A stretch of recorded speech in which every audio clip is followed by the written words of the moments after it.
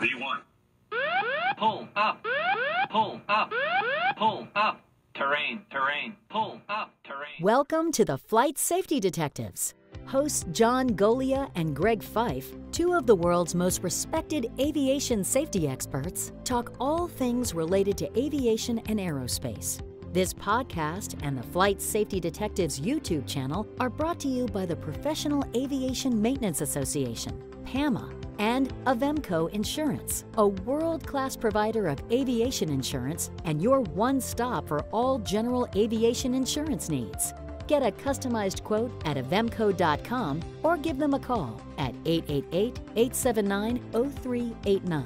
Tell them you're a listener of the show and receive a 5% discount. Now it's time to buckle up because it's wheels up for the latest episode of Flight Safety Detectives.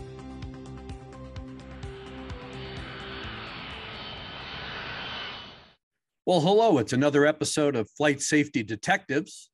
Unfortunately, we don't have the detectives. I'm flying solo today. I'm Greg Feith. My partner, John Golia, is down in Dallas. He is presiding over his world renowned maintenance competition.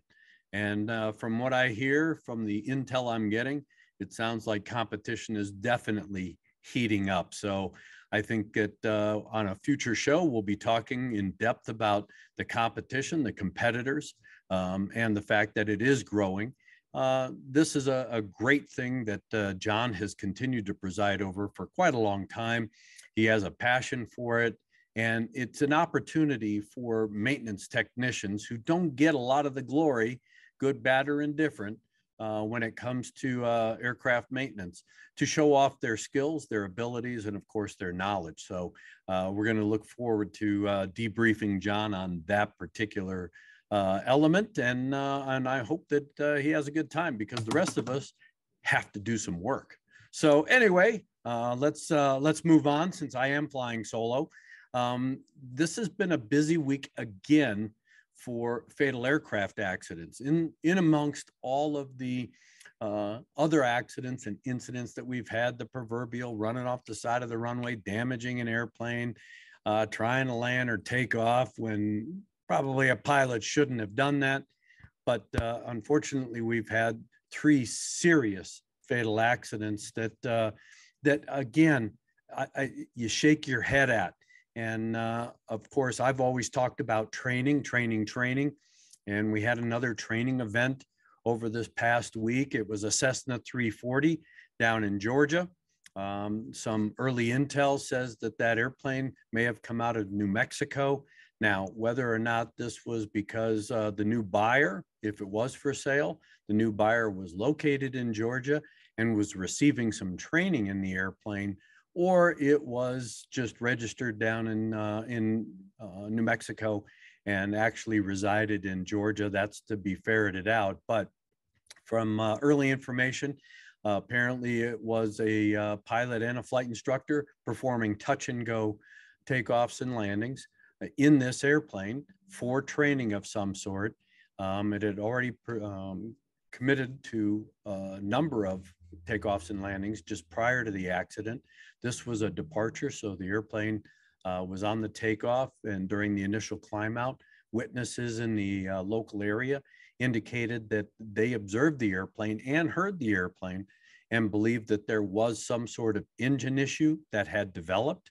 Um, their description of the event was that the airplane was uh, having, quote, trouble gaining altitude, uh, followed by an immediate uh, veering or right turn into a, a, steep bank turn, which led to then uh, an uncontrolled descent. The airplane crashed in the vicinity of a uh, General Mills uh, food plant. It crashed into a number of tractor trailer trucks in a storage area right near the plant.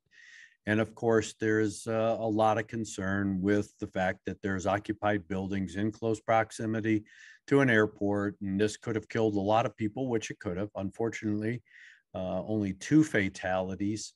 Uh, the parent owner or uh, student in this case, we don't know what level of certification he had, and a flight instructor of some sort. So, uh, of course, the NTSB is going to be not only sifting through the records to look for mechanical malfunctions and failures, of the aircraft that may have caused or contributed to the accident. But of course, they're going to be looking at qualifications of both pilots on board to see exactly what the nature of the training may have been, what they may have been trying to do, what probably got them in trouble.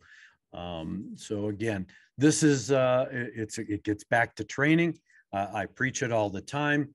While I'm happy to hear that they were attempting to do some training, my concern now has been over about the last year. We've had an escalation in training related accidents. And the concern, of course, is proficiency, not only of the person being trained, but also the instructor themselves.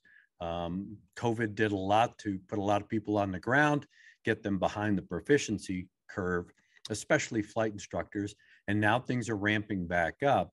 Um, but that doesn't mean that a pilot and or a flight instructor can automatically step right back into it. Even flight instructors need a little proficiency training before they go out and start instructing. So uh, that's going to be uh, a, a, concern, and I think an issue that the NTSB and the FAA should be looking at uh, to make sure that uh, that wasn't necessarily the case. But again, even if they had some sort of engine issue, you have a flight instructor on board for the very reason that they have the higher level of knowledge, the skills, abilities, and knowledge that is.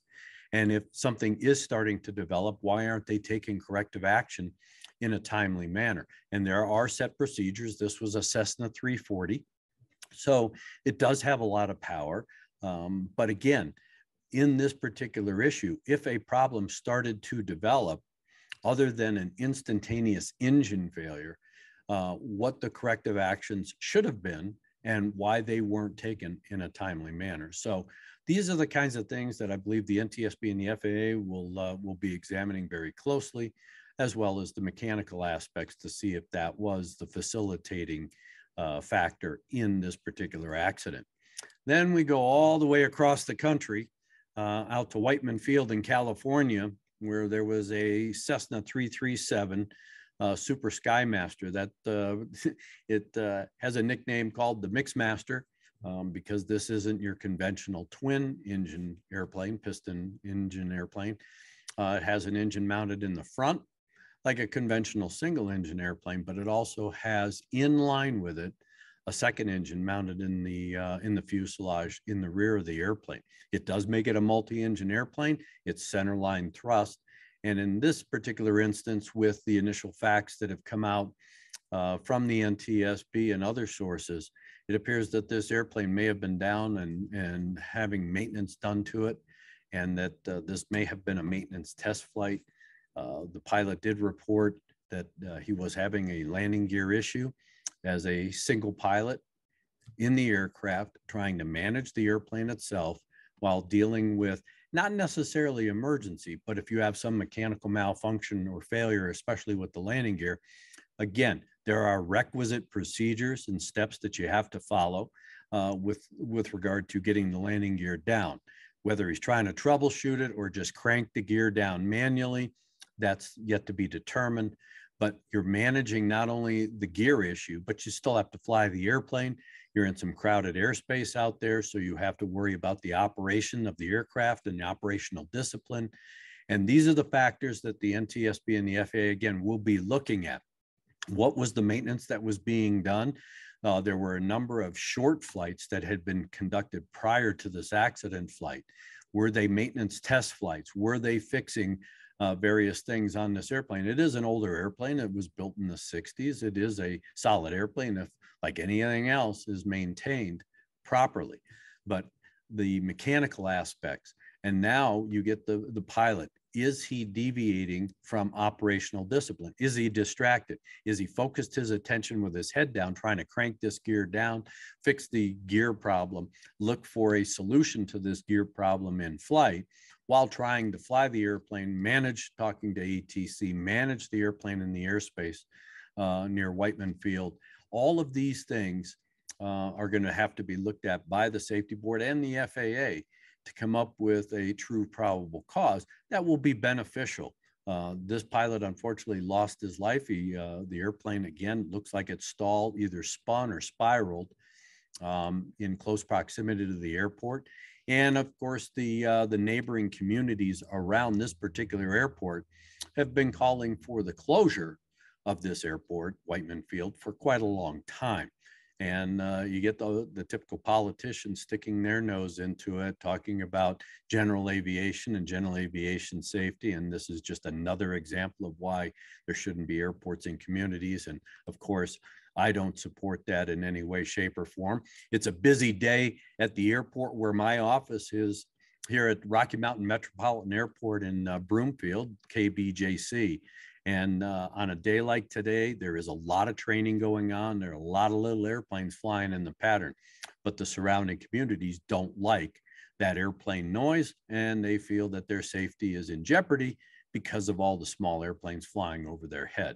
But I think I'd rather be underneath the flight pattern of an airport than being on some of our highways right now because we've killed a lot of people since the beginning of this year again in automobile and truck accidents and of course bus accidents so um, i think all of these issues uh, in some way shape or form are going to have some sort of impact on this accident but for the ntsb and the faa their primary concern is what was going on with the airplane what was going on with the pilot and why did this airplane come down uncontrolled uh, during this particular flight. And then we come back towards the east to Cedar City, Utah. And again, this was a, a, a very unfortunate accident, like they all are.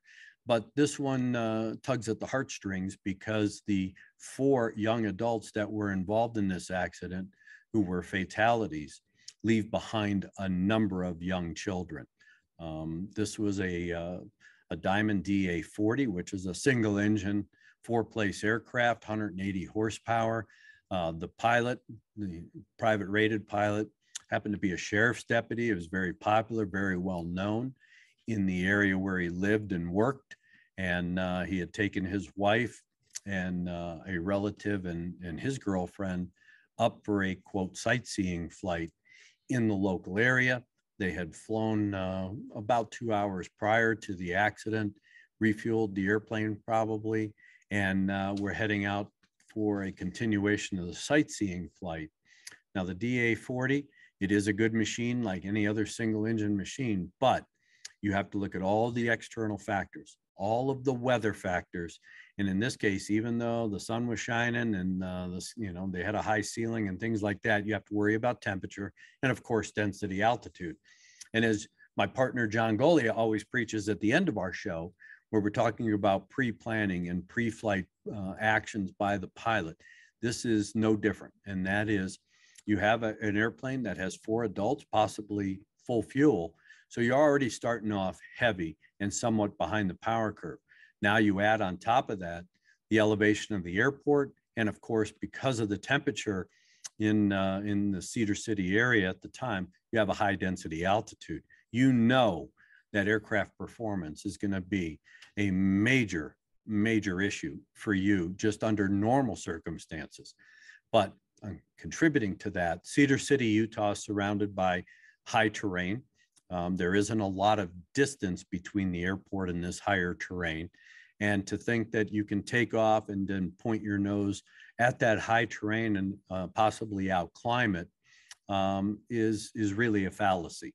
And in a single engine airplane that's heavy, uh, on a day like uh, that um, in Cedar City on that particular day, density altitude was high.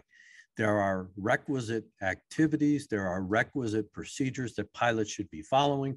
If you are going to fly into that area of high terrain, you either circle climb over a lower elevation area, even over the airport, before you then point your nose towards higher terrain. In this particular instance, uh, some of the chatter that's online and a number of the blogs indicate that this pilot may have taken off and started heading right towards high terrain. Of course, aircraft performance is going to be a central theme for the NTSB and the FAA to look at in doing their accident investigation. And when you look at the accident site itself, it appears that the airplane, because of the com uh, compact size or the contained area of the wreckage, Uh, there were some aerial views that have been posted online. As an investigator looking at that, it would indicate that there was probably, again, another event where the pilot got himself into a situation where possibly the terrain started to outclimb the performance of the airplane. The pilot may have realized it and either continued to try and outclimb the terrain or possibly made the decision to turn and uh, basically retreat. And during the course of one of those actions, ended up inadvertently stall spinning or stall spiraling that airplane. And because of their close proximity to the ground, they were unable to recover, or the pilot was unable to recover before ground impact. Tragic loss of life. And it's all about planning. Having not only a, a desired route that you know that you and your aircraft can transit, um, but it relies on performance. Um, and again, these are the kinds of things that even though this was just a personal sightseeing flight, you have to go back and look at the, the pilot's personal skills, abilities, and knowledge, his proficiency in this airplane, in this environment. And I even go back to training. Was he doing training on a regular basis? What was the training he had received? Um, you know, for his private pilot license, how much emphasis? It's obvious that he flies in this area. This was a rental aircraft. So it's obvious that he was familiar with these particular areas that he had been flying in. But the key here is how proficient. Why didn't he, if uh, if they can find out, why didn't he do some aircraft performance to know that you just don't go blasting off into high terrain? These are the kinds of issues that, as an investigator, you shake your head, especially when you have to go out there and you see this loss of life and and the the family members that have been left behind um, because of a decision I'm not going to say that it was a bad decision and uh, a wrong decision. I mean, it's kind of obvious that, that, you know, because of the accident, you could surmise or come to that conclusion. But there could be some extenuating circumstances that at this point in time we don't know about. And that's why it's going to be important that the NTSB and the FAA do a thorough and methodical investigation of this accident, like any accident, because it's these underlying factors that may not be so obvious right now without thorough and methodical investigation. The fact is, is that when you look at these three, these three accidents, again, we have an escalation in fatal accidents this uh, in this year. People are coming out of the COVID uh, lockdown. They're getting into airplanes. They're flying more, and of course, uh, with pilot training on the increase because of the quote pilot shortage for commercial aviation um, there's a lot of activity out there. So uh, it is a concern. Um, we need to be uh, learning lessons from these particular accidents so that we can prevent them going forward. And, and as I get more information, uh, John and I, hopefully he will be back here uh, for the next show. Uh, we'll be talking about that. And I'm even going to ask Todd, one of our contributors to, to the flight safety detectives. He is part of the, uh, the cast and uh, and he's back flying. So we're going to talk to him about some of the lessons he's learned from being on the show, the things that we talk about, and what now he is learning from the dissection of these accidents as he applies it in his own flying. I do it on a regular basis when I do my flying. Um, I'm constantly thinking about the things that we talk about uh, one, so that uh, I don't become the headline that safety guy crashes an airplane. That that uh, would be quite an embarrassment. So uh, we're going to be uh, dissecting more of these issues, but it is one of those things that we need to be aware of. We're coming into now an escalation of the flying season as we transition from spring to summer. a lot of people are going to be out flying. They get the airplane out of mothballs, if you will, and it's going to be one of those issues where while the airplane may be airworthy and capable of doing the mission. Are you, the pilot, capable of doing the mission? Are you, the pilot, airworthy, if you will? Are you proficient? Are you comfortable? Are you confident with the abilities? Not trying to learn on the fly, but having that level of proficiency and confidence before you start conducting flight operations, especially where you're carrying passengers and, and your family, of course. Um, these are the kinds of things that you have to ask yourself. And you have to take that moment and be real. look at yourself in the mirror and actually think, am I ready? Am I prepared? And as I'm always preaching, and, and I try to do it myself uh, on every single occasion in an airplane, and that is if you're going to fly and you have to take actions of any kind, you always want to know that you're executing with purpose. That is, you don't just execute, especially in a abnormal or emergency situation, to do things. You have to understand what it is that you're going to do and why you're going to do it before you do it. I know too many pilots who have put themselves in a position of jeopardy because a situation has cropped up, even a benign situation, but they've turned it into an emergency because they started to do things without really understanding why they were doing it. They just felt the need they had to do something.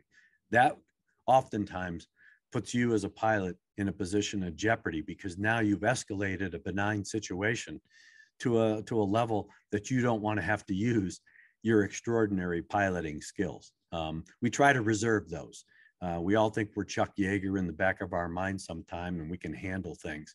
But again, I never want to have to use those extraordinary skills to get myself out of a situation that I put myself into. And of course, put my family or friends at risk who I'm flying in the airplane.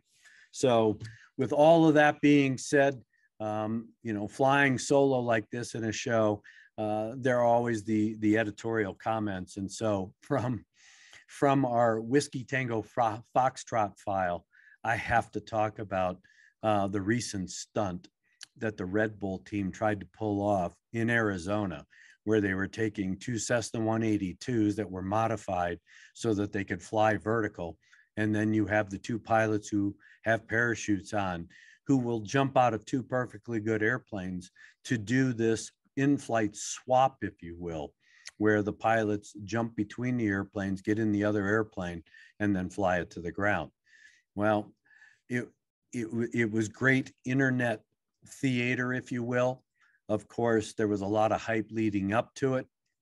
And, and of course, anytime you see Red Bull being involved, you know they have the air race competition, they have uh, the pylon races that friends of mine have flown in, and in those kinds of things. And those are very controlled. And of course, Red Bull sponsors a number of uh, aerobatic pilots that, you know, again, put on a great show but this was really for theater.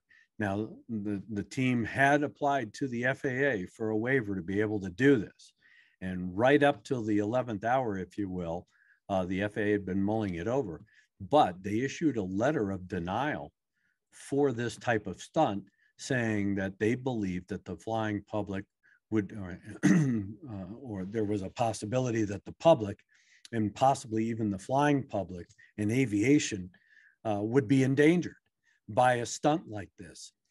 Yet when you look at the, this stunt, the FAA was really concerned about the fact that the, the public could be in, endangered on the ground and that aviation and aviation safety could be compromised. Yet the Red Bull team decided to try and do this uh, particular event anyway. And, uh, and it was half successful as the airplanes were of course, pushed to the ground, standing vertical in the air, if you will, nose down. Uh, both pilots left their respective aircraft. One pilot was able to get into the opposing airplane and, uh, and gain control of it and land. Unfortunately, during uh, the excursion down, the other airplane had some sort of issue that caused it to start to spiral out of control. The pilot was unable to, to get into the airplane and therefore had to pull a parachute and land some distance away. The airplane eventually uh, crashed into an open desert area, fortunately. And while, yes, nobody was endangered on the ground, if you will, the FAA denied this particular action. And the question is, why would you jeopardize your pilot certificate for a stunt like this when the FAA has denied it? And similar to the previous stunt that the FAA took corrective action on, where a pilot, again, looking for YouTube subscribers and click throughs and everything else to generate uh, internet interest, uh, that pilot ended up having his pilot certificate revoked for crashing a good airplane as well. And I suspect with the FAA looking at this particular stunt, the fact that it had been denied, um, I wouldn't be surprised if there isn't some revocation action take place with this. They are going to try and send a very strong message. Aviation, in and of itself, is a dream for a lot of us. We admire the pilots that can do things, make airplanes dance, do things with aircraft um, that, for our enjoyment, whether it's on the internet or in person at air shows. But when you start taking some of these stunts to an extreme like that, just to draw the attention, especially in this case on the internet, now you have to start looking at is this really good for aviation? Does it draw the right attention to aviation? And in this particular instance, I saw no benefit other than somebody capitalizing uh, for monetary means uh, a stunt like this to draw attention to uh, a respective uh, uh, website. And um, in the meantime, it compromised aviation and aviation safety and the perception by the non flying public to these kinds of dangerous type stunts. So, um, again, I'm all for great air shows. I love being entertained. A lot of my friends are in the air show business. It's very controlled. They're very methodical. They they're, they're very practiced and skilled in their particular craft. And I hate to see aviation, especially that part of aviation, be tainted by some of these stunts that I will call ridiculous because there was no benefit in doing this kind of thing. So, uh, again, from our WTF file, I have to just say, what the hell were you thinking? So, with that being said, um, and lacking my uh, my partner, I will have the last word, which is again, think about what it is you're going to be doing with that aircraft. Think about the people that you're going to be flying, and think about the people that aren't in the airplane that are below your aircraft on the ground. Because anytime you fly over any populated area, they too deserve the highest levels of safety from you as a pilot in command. You go back and look at FAR 91.3 and your responsibilities as the pilot in command. It's kind of like Spider-Man. Um, you know, with uh, with great power comes great responsibility, and as the pilot in command, you do have a lot of power, but you also have a lot of responsibility to yourself, of course, to your passengers, and to the people outside that aircraft. So, again, do your planning and do a thorough and methodical job with not only what it is you're going to do with the aircraft, how you're going to do it with the aircraft, but then when you get to the airplane, pre flight planning with regard to examining that aircraft to make sure that both you and the aircraft are in an airworthy condition to conduct that flight and do it safely.